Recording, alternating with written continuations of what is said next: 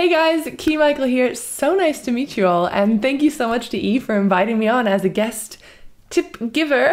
I have been a professional volleyball player for the past 10 years. I was also in the London 2012 Olympics, and I'm here to give you guys a few tips on what you should be looking for when you're filming volleyball, or in this case, beach volleyball.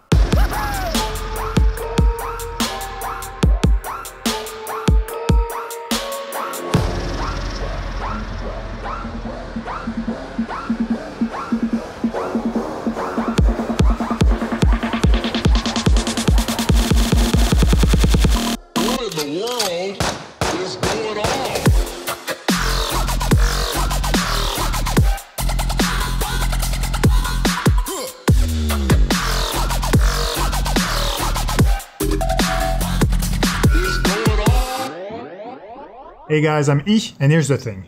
Based on the feedback I've gotten from you guys through my Instagram account and also my Facebook group, a lot of you want me to make tutorials about how to make a video specifically for one sport. Like how to make soccer videos, or how to make rugby videos, how to make tennis videos, how to make baseball videos, how to make hockey videos, how to make football videos. I heard you and I'll get through them all. But first thing first, today we're gonna learn how to do a proper volleyball video or more specifically a beach volleyball video because I live in Australia, we've got beaches and the ocean makes a much better backdrop than the beige walls of a local gym. So why not?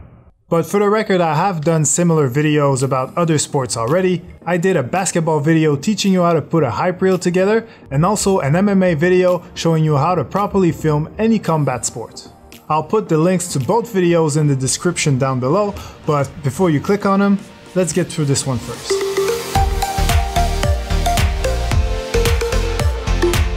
Alright, so here are a few things to look for when filming beach volleyball. Since the big tournaments are usually on a beautiful beach, you have to make the most of that gorgeous backdrop. That means not only should you be filming great wide shots with the ocean in the background, but also take the time to go film some b-roll when you have time. Get some shots of waves breaking, seagulls flying, surfers, boats, typical stuff that you can then use as cutaways later on in your edit. Especially if you're covering a whole tournament, these b-roll shots make great transitions in between games. Another thing that's almost exclusive to beach volleyball tournaments is the party vibe. Sun, sand, and music everything's in place for the fans to have a good time. So make sure you capture that great atmosphere and again, use it as b-roll and cutaways in your edit. Alright, so now that we've covered everything around the game, it's time to talk about the actual game itself and how to shoot it properly. And lucky for you guys, I reached out to Ci Michel, a professional volleyball player who also happens to be a really creative and extremely talented sports videographer who has her own YouTube channel dedicated to volleyball. So Ci is to give you guys a great insight into the game and what to look for as a videographer, and I'll be back after with more technical stuff. Hey guys, Ci Michel here. So nice to meet you all. I'm sure you guys are getting so much value from E's videos if you're like me, who is a newbie to sports videography and YouTube. Because actually, I'm just an athlete and I'm trying to figure out how to get all the knowledge I have in here about my sport out there into the universe and the best way to do that seems like video. And so channels like E's are really really helping people like me and people like you too i'm sure. But luckily for you guys who clicked on this video all of that sporting knowledge i just talked about for me it's volleyball. I have been a professional volleyball player for the past 10 years. I was also in the london 2012 olympics and i'm here to give you guys a few tips on what you should be looking for when you're filming volleyball or in this case beach volleyball the first thing I would say is just know the rules of the game.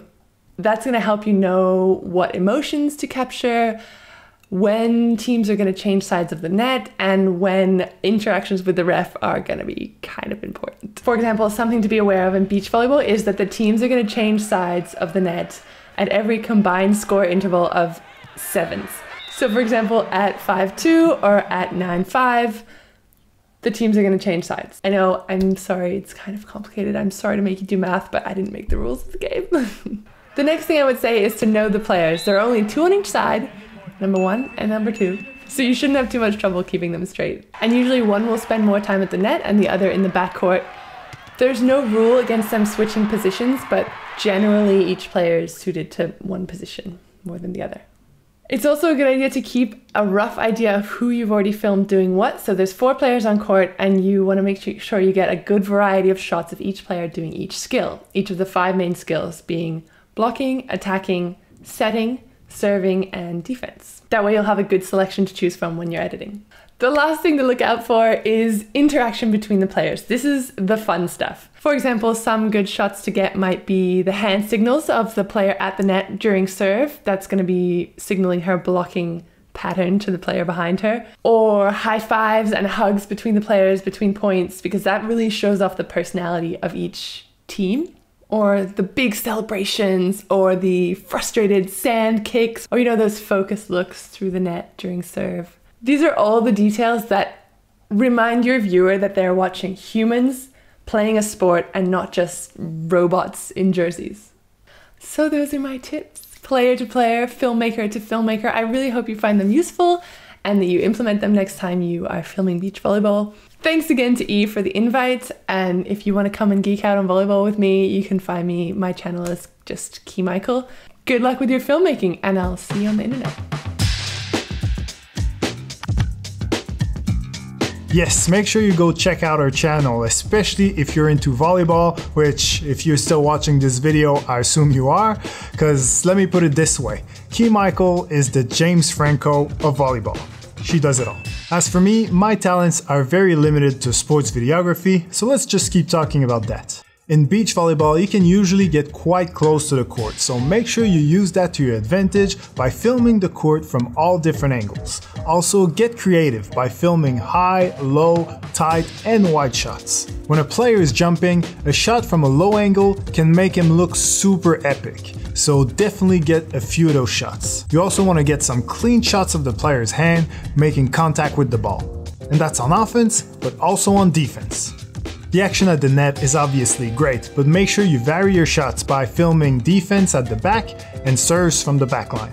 And also, if you have access to a camera that can record in 120 frames per second, this is definitely a sport where you can make the most of it. Being outside in the sun means that even when setting your shutter speed at double your frame rate, which is what I recommend for a more natural motion blur, your image won't be too dark at all, and you'll be able to make the most of those powerful serves and smashes in super slow-mo.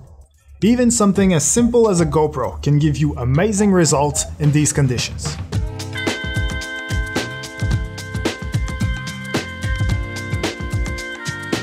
And my last shooting tip is to not constantly try to follow the ball with your camera, especially if your framing is pretty tight. Sometimes it's just better to point your camera at a particular spot and wait for the action to enter your frame. Stable shots like that also make it a lot easier to make seamless fast cuts in your edit.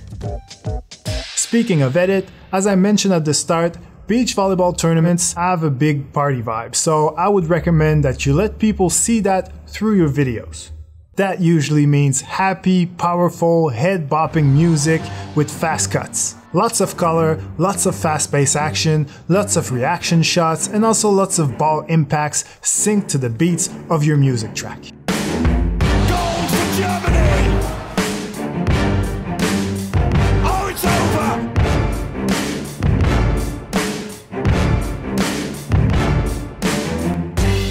On that note, thanks again to Ci Michel for helping me with this video.